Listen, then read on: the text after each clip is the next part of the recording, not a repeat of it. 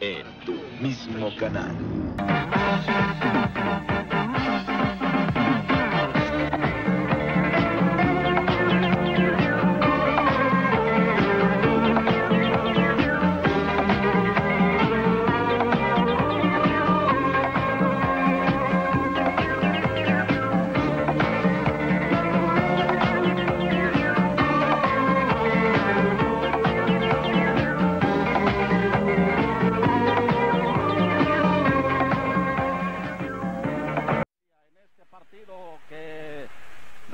Interesante en este balonazo largo allá al frente lo está persiguiendo Pantoja penal de Potro Gutiérrez marcado perfecto por Arturo Bricio Carter con la categoría y con la decisión que tiene siempre este árbitro para marcar faltas como esta que la tira Marco Antonio Figueroa el fantasma que se acuerda de festejar a la manera del fantasma de Morelia en este primer gol que mete al minuto número 10. Se va el ataque el equipo del Atlante en esta pelota de trapazo, tirada por arriba del arquero Albertico Aguilar. Pelota al lado derecho, la abren para Luis Miguel Salvador, tiro, palo. Y esa pelota que despeja le queda a Guillermo Cantú. Mientras el cinco copas ve tranquilo el partido, ataca aquí Gastón Obledo por la punta de la derecha. Viene el centro templadito, el remate, gol de Luis Miguel Salvador al minuto 56. Un remate de un centro templado anticipándose al despeje. Entra perfecto y está angulando la pelota para el 1-1. Ataca el equipo de Morelia, va por la derecha. Centro perfecto. Parece remate de cabeza estupendo de parte de Jaime Vera. Al minuto 63 un remate cantadito sobre el arquero Fernández. Y el Atlante va otra vez para el frente, peinan hacia atrás, alcanza Roberto Andrade, toque de Luis Miguel. Luis Miguel Salvador anota el gol del empate. Y de esta manera al minuto 72 el Atlante rescata un punto en otro empate más. Un empate emotivo. Aquí está Vera con la acción y el árbitro Arturo Bricio dice colorín colorado creo que con todo y las fallas el Atlante merecía ganar, ¿no? Fue el equipo que hizo el gasto. El segundo tiempo, te digo, tuvimos muchas oportunidades y bueno, las dejamos sí. Y fuimos el equipo que siempre buscó dar espectáculos, salir a ganar, salir al frente, ¿no? Estamos cometiendo muchos errores defensivamente, lógico, pero lo importante es esto que se llegue a rescate un punto y se sigue sumando, que eso es lo importante. En el Estadio Azteca, Cruz Azul recibiendo a Tigres en un partido también de la fecha 28 del campeonato. Toque atrás para Ruiz. Ahora aparece Sixtos en la salida de la máquina. Nuevamente Cruz Azul. Duan en el tiro con la zurda. Bien Zúñiga. En la primera llegada de Cruz Azul que nuevamente desborda. Duana toca la pelota. Totonil Cortega mete las manos. Gonzalo González marca penalti. Repetición para ustedes, brazo izquierdo despegado del cuerpo de la Totonilco y el penalti ya lo marcó Gonzalo González. Hermosillo llegó con 15, prepara, punta 16, el 1 por 0 para Cruz Azul al minuto 17. La máquina toma ventaja frente a los desangelados Tigres. Siboldi en el despeje, largo, muy a su estilo, resbala el defensa, Hermosillo tiene el segundo, tardó el guardameta con la pierna, a la media vuelta, Zúñiga controla. Y Hermosillo ha perdido la gran oportunidad del el 2 por 0 y su segundo gol. Morales desborda. Pantalla de Zamora. Carlos Hermosillo entre dos. Gol. Minuto 38. Y Carlos Hermosillo está llegando a 17 goles en su cuenta personal esta campaña. Segundo del encuentro. Vean cómo pasa entre los dos defensas. Y después fusila al arquero Zúñiga que nada puede hacer. Nuevamente Cruz Azul con Esparza. Duana, zona caliente. Hermosillo cabecea al palo y Tigres hace agua en su cuadro bajo y está consiguiendo el despeje por conducto de Martínez Cervera. Duana para Mora, le pegaron, Ruiz recoge, Hermosillo, gol, minuto 62. El 3 por 0 de Cruz Azul, 3 de Hermosillo que está llegando a 18 hasta este momento en su cuenta particular. 3 por 0 la victoria de la máquina azul. Nuevamente el rebote, falla la defensa, Mora habilita Hermosillo, puede ser el cuarto, el cuarto de Cruz Azul, el cuarto para Carlos. Minuto 70. Y Cruz Azul está masacrando a los Tigres. Mala salida de Janes Toro, tampoco Ortega puede rechazar. Mora habilita a Carlos Hermosillo. Zúñiga aguanta el toque suave, un costado para el 4 por 0. Triunfo de Cruz Azul. Yo creo que a mí me toca colaborar para meterlos. Me pusieron dos más, no lo supe anotar, pero a ellos me debo, a mi técnico, a mi directivo, a toda la gente que me, que me aplaude. Sí, creo que cuatro goles no es un marcador lógico, eh, porque veníamos haciendo bien las cosas, pero creo que hay que corregir esto y seguir adelante. En el tecnológico, la capital del empate, esta pelota centrada la toca allí Vaquero Jauregui y Pablo Larios hace un paradón sensacional. Tiene la pelota el equipo de Monterrey, la pierden allá al frente. Está el ataque Jiménez. De atrás el tiro de Olindo. Gol del Puebla en una pelota durísima. Disparada sobre Paraguayo que se tira y no alcanza la pelota. Puebla se pone arriba 1-0. Centro de Verdirame. Despeja Ruiz Esparza. De atrás el tiro. La pelota desviada para córner por la punta de la izquierda. Aquí José Nieves está tirando al frente para que venga el despeje de Rubalcaba. Otra vez el Monterrey tocando la pelota. Peina hacia atrás Patiño. La toca JJ. Entra Luisinho Hernández. Gol. El empate. Séptimo empate consecutivo del equipo de Monterrey. Está un empate de empatar un récord de todos los tiempos en el fútbol mexicano. El gol de Luis Hernández empata 1-1 Monterrey y Puebla. Puebla es un equipo muy peligroso en contragolpe. Y bueno, realmente no quiso ser, ¿no? puesto que tuvimos bastantes situaciones de gol. Las creamos, eso es lo importante. Bueno, solamente tenemos que esperar en y, y, pensar en la calificación. Lo hicimos perfectamente bien hasta que nos presentamos al frente del, pro, portero. Esto se gana con goles y, y, no los hacemos en las oportunidades claras que tenemos, no, no nos va a resultar. Sábado por la noche, la corregidora Querétaro recibiendo al América. Los capitanes Rodríguez y Rodón. Aquí viene la salida de Bueno. Ahora Rodríguez en el control. Servicio largo. Falla Sánchez en la marca. El peruano Dalorzo escapa. Enfrenta al arquero. Cruza. Gol de Martín Dalorzo al minuto 6 venciendo a Adrián Chávez. Servicio por toda la banda. Pisa con firmeza, observa al arquero, cruza con la derecha, gol y la ventaja del Querétaro apenas al minuto 6. Y allá van al festejo con Robinho y con la afición junto con Carlos de los Cobos. Este es González que cobra largo. Aquí está el peruano Dalorzo con la finta. Chávez sale. Ahí se le entregaron finalmente al guardameta Adrián Chávez. Sigue ganando el Querétaro. Santos cobra. Joaquín Hernández prolonga. Juan Hernández cierra. Gol.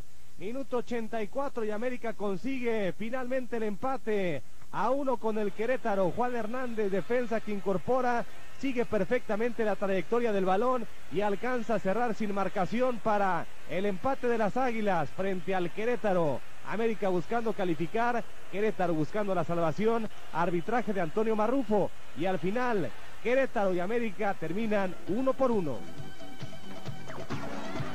pero por otro lado estoy muy contento por, por ese esfuerzo que están mostrando los jugadores y porque los equipos de, los demás equipos están, están dándose cuenta que jugar con el Querétaro ya no es fácil, ¿no? Ganar el Querétaro no es fácil, es un equipo muy competitivo. Pero siento que fue justo porque el América, eh, si bien en el primer tiempo no jugó bien, en el segundo tomó el dominio absoluto del balón y del terreno y sobre el final consigue un empate que en mi criterio lo buscó y afortunadamente lo consiguió. Partido importante el Atlas Correcaminos, este Atlas que está levantando en el grupo de la muerte. Y el Correcaminos sumido en un problema. Atlas tiene la pelota, mandan el balonazo al centro, el arquero Martínez se queda con el balón.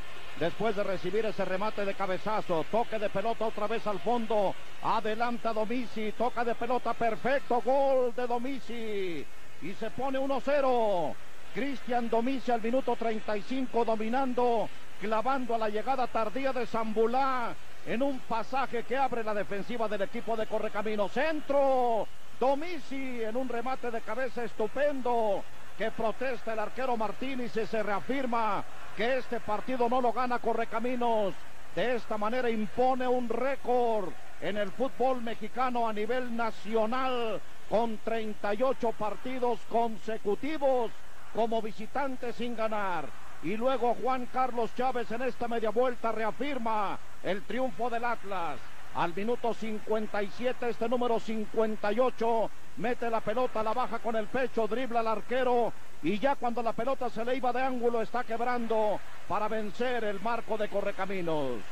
Correcaminos pierde 3-0 y esa es la historia de este partido favorable al Atlas.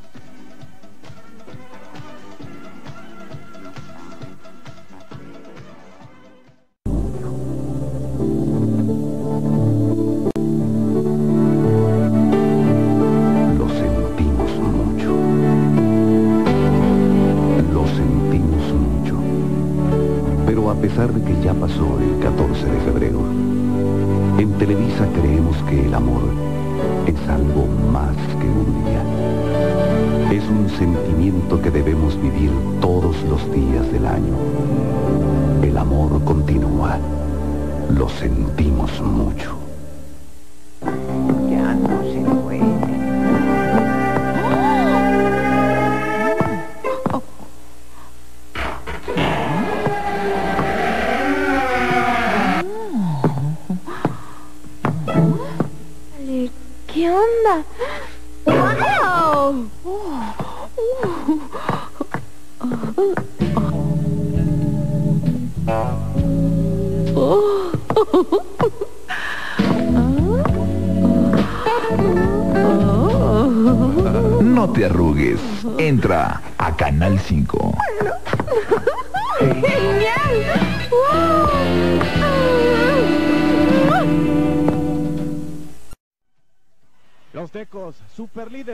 Al Toluca en la bombonera del Estado de México. Humoler, el argentino, y aquí está Víctor Manuel Bucetich. Bernal cobrando largo de Pietri en el cabezazo. Bien, aguantó Alan Cruz. Le faltó dirección a De Pietri que toca la puerta por los diablos.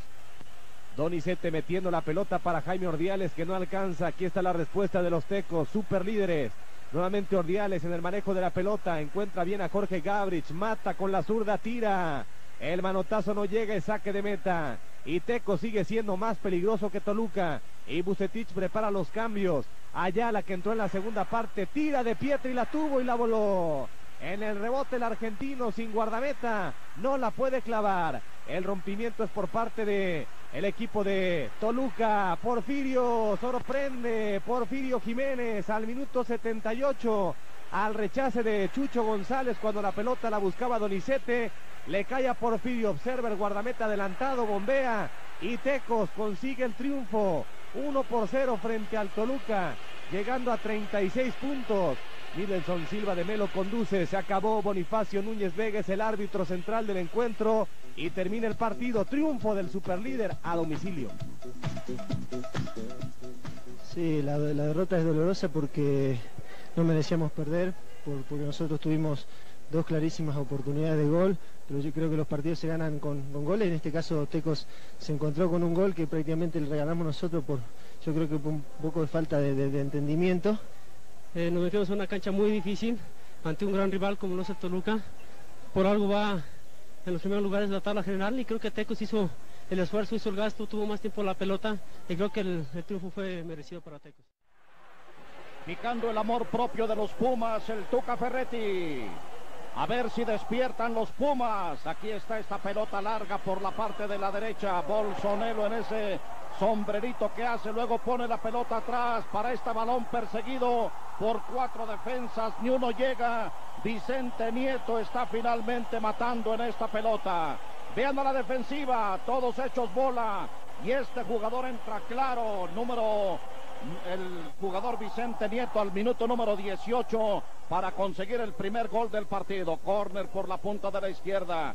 La pelota centrada, la manda Tiva, el remate. David Oteo.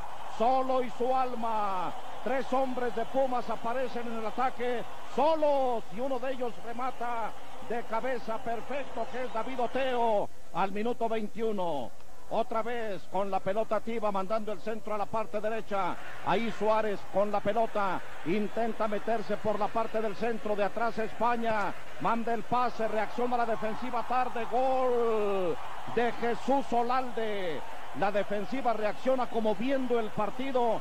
Vean cómo reacciona medio paso más tarde todavía. Y ahí le gana la llegada de Jesús Olalde para convertir el 3-0. Y el pique de Tuca Ferretti con su plantel levanta para el equipo de Pumas y consigue tres goles. Tocando la pelota Tiba, dándola para Miguel España. Luego meten por el centro esta pared dejando atrás. Llega finalmente al tiro de zurda y Sandro Coelho anota el 4-0 al minuto 81. Adolfo Ríos se deja caer sobre el lado izquierdo, no alcanza. Y finalmente el equipo de Pumas va y busca el quinto gol. Este es penal, sin duda alguna. Una falta muy clara con un balón muy lejos. El árbitro lo marca. ¿Quién lo tira? Están esperando al tirador. Es Jorge Campos.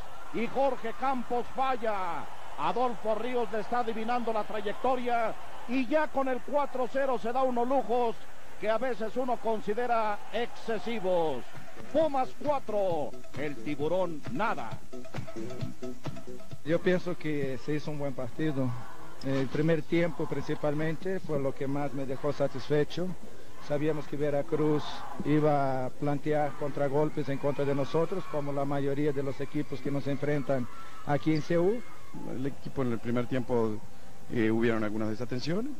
Eh, eh, que procuraremos corregirla, hay que trabajar. Eh, indudablemente no repetimos actuaciones que habíamos hecho en partidos anteriores. El León recibiendo al Necaxa con el debut de Lupillo Díaz como técnico tras el CCD. El brasileño Sebastián Lazzaroni. Ahí está el otro técnico Roberto Marcos Aporiti. Viene el cadáver, cabezazo, la defensa está salvando. Manotazo de Navarro desalojando, lo demás ya no cuenta. Una falta que está sancionando Pascual Rebolledo en contra del guardameta necaxista. Aguinaga jala la pelota, busca Basay, saca centro Basay en el remate. El arquero Ferreira apenas le encontró en el camino. Pey en la respuesta, sigue con la pelota, da la vuelta el africano. El cadáver intenta el remate espectacular, juego peligroso y la tiene Nicolás Navarro. Aquí está Zaporiti, se mantiene el 0 por 0. Buscan al cadáver, Palomita, fuera. El cadáver quiere revivir. Nuevo envío. Y aquí la tiene y Navarro. Manotazo milagroso. Y Necaxa se sigue salvando. Apenas la alcanzó y se lesiona Navarro por el gran esfuerzo. Una vez más, el cadáver metiendo el cabezazo y el gol. Minuto 92. Así festejaron los Esmeraldas. En el tiro de esquina pasado aparece el cadáver, le gana el cuchillo y la pelota está dentro para el triunfo de León. Arbitraje de Pascual Rebolledo al son de 1 por 0 sobre los rayos del Necaxa. Realmente fue un golazo el que hizo el cadáver. Creo que hoy la gente salió muy contenta. Fue un partido muy disputado, acciones de gol en las dos porterías. Creo que es cuando se disfruta el fútbol. Pues sí, estábamos en un grupo bastante, bastante peleado pero pues estamos, estamos tranquilos, hay que, hay que seguir trabajando. El equipo ahora se vio este, bastante ofensivo, estuvimos peleando todo el partido, pero pues te digo, desgraciadamente cayó ese gol. La mala racha llega para el equipo de Chivas Rayadas de Guadalajara que no levanta, se enfrenta al equipo de la UDG, Leones Negros. Esta pelota centrada para el arquero Allá Fernández que sale con la pelota y finalmente el árbitro está marcando tiro de esquina. La pelota la tiene el equipo de Guadalajara por la punta de la izquierda. Centro templadito, la pelota en el área. Tiro raso, gol de Raúl Paredes. Al minuto 73 el equipo de Guadalajara encuentra finalmente el camino sobre el arco. Una pelota desviada por la defensa. Reacciona tarde Hugo Pineda. El partido ya en sus momentos de agonía. Centro largo, arquero no sale, la pelota rematada, va para afuera por la meta. Tiene el equipo de Chivas 1-0 y viene un cambio. Ahí está otra pelota centrada, la pelota la tocan, la salva perfecto allá Maciel y otro córner que se castiga por el equipo del equipo de la UD que un golazo sensacional al minuto 89 el lateral de la izquierda, Rafael Gutiérrez Aldaco, se va al ataque y logra el empate y todavía mantiene al Guadalajara metido en esa mala racha de la cual no sale. Se estorbaron allá con Humberto Romero, Romerito el arquero y finalmente el balón va adentro y luego está donde la salva el equipo de la UDG exactamente en la meta. El árbitro es Gilberto Alcalá. Ya estamos sobre el tiempo y finalmente el marcador queda empate. UDG y Chivas 1-1. Fue un empate pues muy bueno casi al final del partido creo que Museo Guadalajara poco a poco está apretando al final de, la temporada eh, un apriete que es bastante importante por la situación del descenso y todavía por mostrar aspiraciones para la calificación. Claro que sí hay presión y más sobre todo vistiendo la casaca roja y blanca. Yo creo que cada uno tiene que analizarse y, y seguir por este camino, ¿no? que es la buena actitud y, y el buen compañerismo que se ha distinguido del Guadalajara. Por la tarde del último encuentro, Santos llegaba a su estadio, sabiendo que si conseguía el triunfo podría llegar a la tercera posición general. Viene el centro, Guzmán la busca, ya la toma el guardamete Steel. Arbitraje de León Padro Borja, difícil aduana para los toros. Aquí está el equipo de Toros con Ramírez abriendo la pelota. Finalmente el tiro de Ramírez con la zurda cuando Mohamed ya la buscaba. Y ahí está Malibran que aparece también por la izquierda. Un partido de poca llegada, 0 por 0 a Domaiti. Se anima, mueve simplemente a George Steele, el guardameta suizo. Y sigue el 0 por 0. Ahí está participando en la jugada nuevamente Ramírez. Tiro arriba del arco que defiende Adrián Marmolejo. Y aquí está Bernuncio. Y aquí está Pud. Puede ser el tiro de Apud. La suelta el arquero. Zurdo Flores Barrera. Minuto 67. El gol de Santos. El arquero la deja ahí. Y el zurdo que atraviesa por un buen momento mete el cabezazo para el 1 por 0. Que puede ser definitivo. Y Santos sigue siendo el mejor equipo de la segunda vuelta. Mohamed saca centro en un intento desesperado. Remate. La sacó Marmolejo. Oportunísima intervención del arquero lagunero. 1 por 0, se acabó. Santos sigue siendo el mejor de la segunda vuelta. Ganó a Toros. La presión del fantasma del descenso creo que se está olvidando. De hecho, yo siento que ya es cosa del pasado. Pero se nos, va, se nos van a dar dando las cosas de acuerdo a las metas que nos, propongamos a, al siguiente paso. Yo creo que si, sigue, si seguimos así, ojalá el, el equipo esté pensando en una calificación. Que jugamos siempre para adelante, eh, desgraciadamente el gol no, no, se nos dio y ellos en un, una desgracia que tuvimos, un error que tuvimos, hicieron su anotación. Pero vuelvo a repetir, es una satisfacción manejar este grupo de, de jugadores.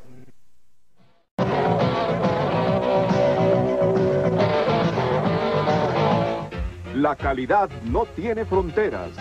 Corona, la cerveza de mayor consumo en México y la cerveza mexicana de más venta en el mundo, sigue abriendo camino. Con su calidad internacional comprobada, la cerveza es Corona, orgullosamente mexicana. Agresivo. Vanguardista. Audaz. Excitante. Muy pronto, lo más intrépido de la ingeniería automotriz. Ingeniería Chrysler.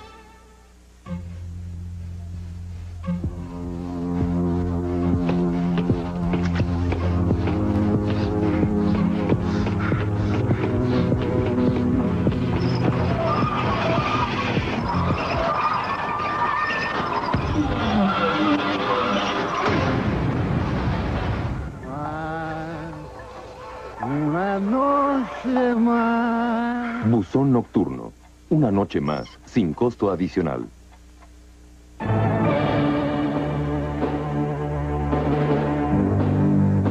...9 de febrero de 1913... ...Marcha de la Lealtad... ...muestra de honor y valor...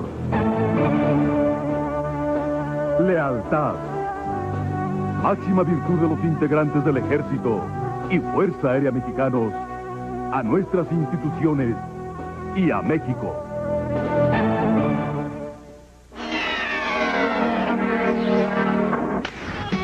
Estás a punto de entrar al mejor lugar para tu emoción.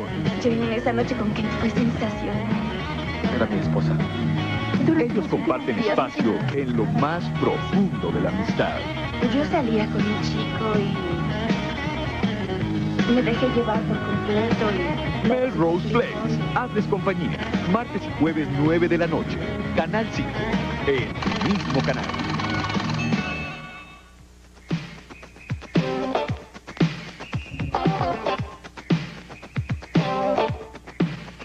Así están los grupos después Después de 28 semanas, Santos aprovecha que los cuatro que le siguen no ganaron y tiene 33 puntos, 4 de ventaja sobre Necaxa que le sigue muy de cerca.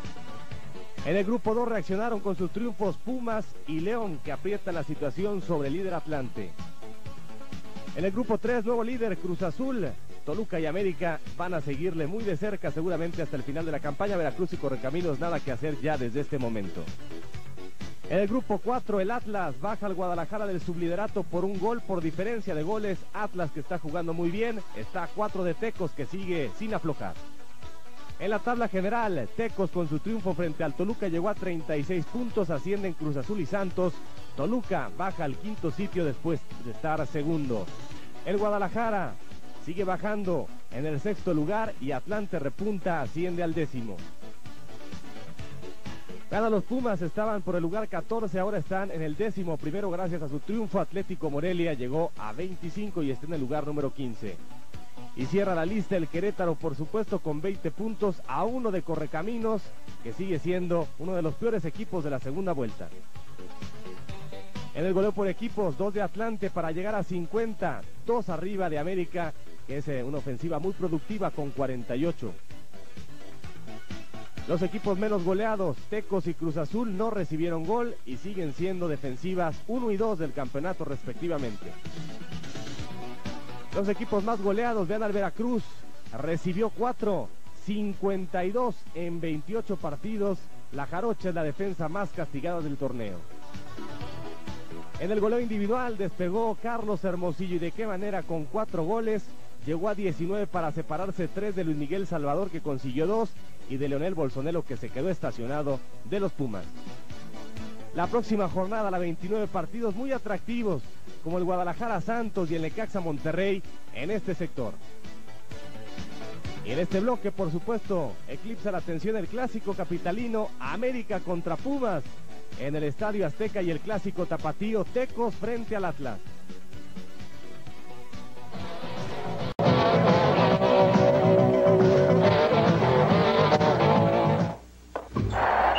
Pepsi. Repetimos la jugada. Sí, aficionados, también aficionadas. Vaya cañonazo. Desde el 14 de febrero, todo México, todo vivirá la emoción del fútbol con Pepsi Gol. Sí, Pepsi te invita. Prepárate. Disfrute de la siguiente demostración. El excelente agarre en curvas, la resistencia y la rápida y precisa respuesta al frenado de las llantas Goodyear, diseñadas para que usted maneje tan seguro que pueda pensar en cualquier otra cosa, menos en llantas. No piense en llantas, piense en Goodyear. Pura, clara, transparente. Corona, genuina cerveza al natural. Luciendo la excelencia de su calidad, la cerveza es Corona.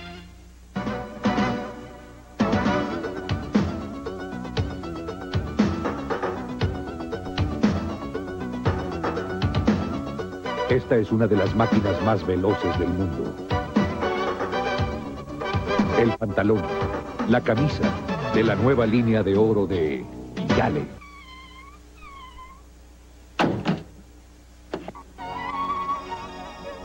Los pensamientos, las ideas, los grandes inventos los encuentras en los libros. Acércate a la palabra impresa en la decimaquinta edición de la Feria Internacional del Libro del Palacio de Minería que organiza la Universidad Nacional Autónoma de México a través de su Facultad de Ingeniería del 26 de febrero al 6 de marzo de 1994. Después de acción, únete al crimen desorganizado.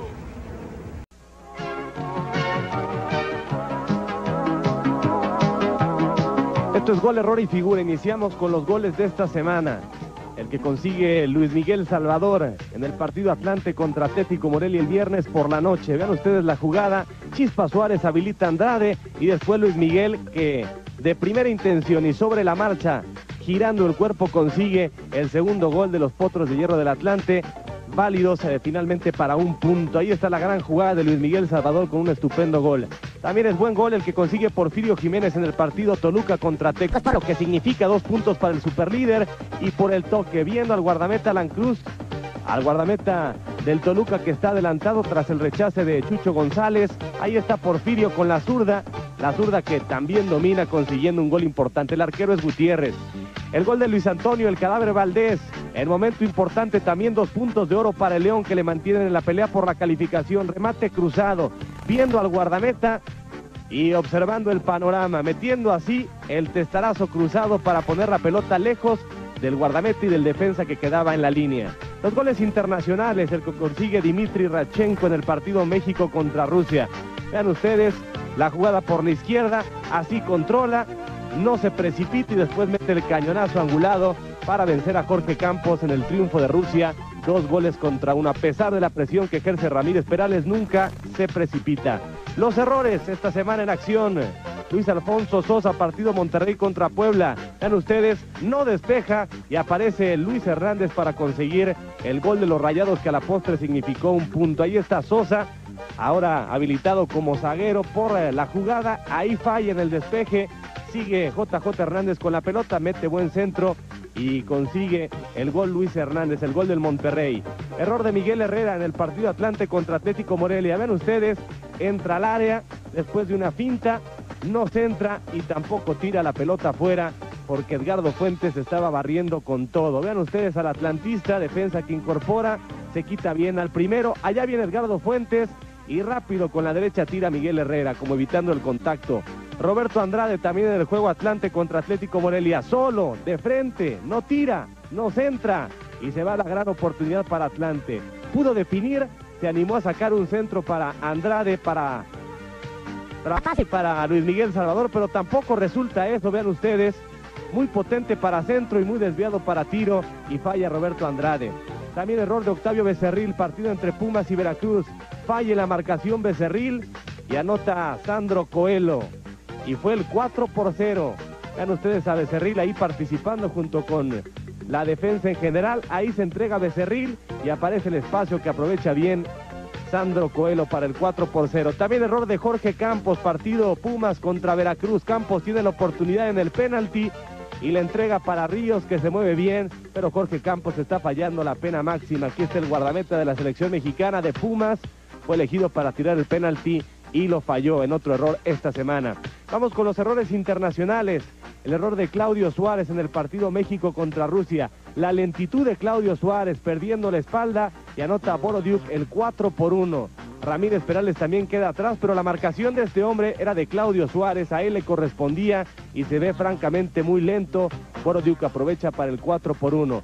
Y también la defensa de México en general, en el 1 por 0, nadie por la banda, nadie por el centro. Borodiuk llega y finalmente empuja ni Ramón, ni Claudio Suárez, ni Ramírez Perales. En fin, la defensa de México en general fallando en esto que significó el inicio de una goleada.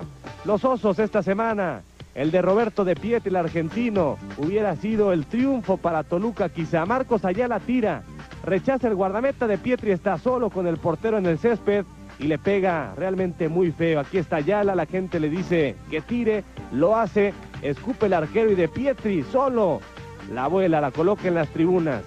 La figura esta semana es sin duda Carlos Hermosillo, jugador de Cruz Azul que consigue cuatro goles. El primero de penalti, unas manos de la Totonil Cortega, el 1 por 0. El segundo después de la pantalla de Zamora, entre dos defensas, fusila al arquero. Dos de Carlos Hermosillo que en ese momento llegaba a 16. Y después con las facilidades de Tigres, por supuesto, pero la obligación de Carlos es definir y lo hace muy bien. Aquí ante la salida de Zúñiga, el tercero en su cuenta personal, el 18 del año para Carlos Hermosillo. Otra pelota que pierde Tigres, donde no hay realmente voluntad para defender. Mora la pone para Carlos que consigue el cuarto de diferentes formas, definiendo siempre oportuno Carlos Hermosillo que consigue cuatro anotaciones esta semana. La figura internacional esta semana es Alexander Borodiuk del equipo de Rusia. Anota tres goles, gran capacidad de definición. Vean ustedes, aquí apareciendo por la derecha, acompañando la acción y finalmente empujando el 1 por 0. En el 3 por 1 también aparece Borodiuk. Cuando el equipo ruso despondaba la saga mexicana, va a aparecer nuevamente este 10 que mide a Jorge Campos y por abajo y suave consigue el segundo gol en su cuenta personal. Y el 4 por 1 también es de Borodiuk, ganándole la espalda a Claudio Suárez, nuevamente viendo a Campos cruzando suave sin mucha espectacularidad, pero siendo efectivo Alexander Borodiuk. El antifútbol esta semana corresponde a Narciso Cuevas, partido Monterrey contra Puebla. Vean qué patada le da Nieves, lo trajo cortito durante todo el encuentro. Narciso Cuevas es un jugador muy efectivo, pero también muy temperamental, con varias expulsiones y después de golpear se ha lesionado. El árbitro estuvo muy cerca. Juan Carlos Ortega, del partido Cruz Azul contra Tigres, se barre por atrás en una jugada y en esta otra vean cómo golpea a Pedro Duana. Va con todo, Duana alcanza a ver el movimiento y a brincar. Jesús González, vean ustedes, aquí le da con todo a Memo Vázquez y Bonifacio Núñez como estaba iniciando el encuentro o porque así lo considera simplemente saca la tarjeta amarilla y está la pierna levantada en zona muy peligrosa por parte de Chucho González golpeando a Memo Vázquez que alcanzó a recuperarse. Lo negro esta semana en acción. José de Jesús Robles, el árbitro, en el partido Monterrey contra Puebla, no marca empujón de Plasencia, Dioney dentro del área. Vieron ustedes muy claro el desplazamiento. Ahí está el servicio largo y Plasencia que va empujando Dioney cuando este ya le ganó por velocidad. Dentro del área se produce el empujón. Larios de hecho se pasa y no marcó José de Jesús Robles. Y después no marca falta de Rubalcaba a Patiño dentro del área. Ustedes juzguen. Es muy claro el contacto. Aquí justamente cuando funciona la pared, entra Patiño, le dejan la pelota atrás y ahí está el contacto.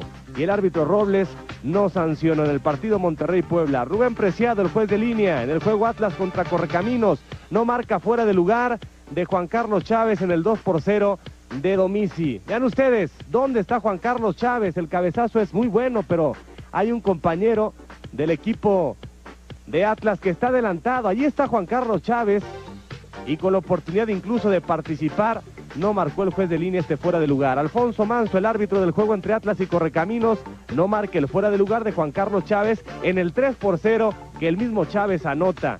En el rompimiento Juan Carlos Chávez está adelantado, es evidente su posición. Vean, ahí está Juan Carlos Chávez, es imposible que haya salido de la línea que forman los zagueros. Y Juan Carlos Chávez anota y el árbitro Alfonso Manso da un gol como válido cuando no era. Gilberto Alcalá, también árbitro del Juego Universidad de Guadalajara contra Chivas. Vean qué jugada tan interesante.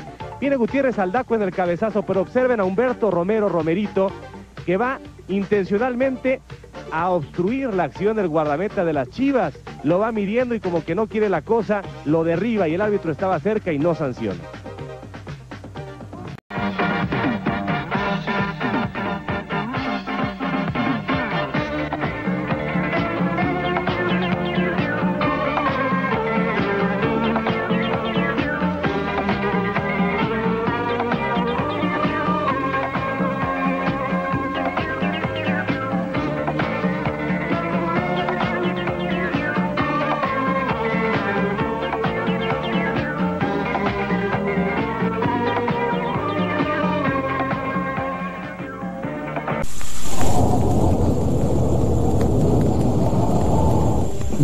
Quedes al margen. Tienes otra oportunidad para pagarnos lo que nos debes, Matthews, pero es tu última oportunidad. No te dejes marginar.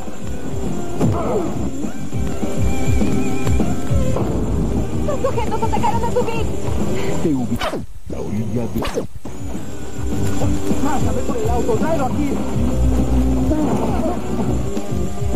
Para los marginados no hay límite. Los marginados, sábado, 7 de la noche. Canal 5, en tu mismo canal.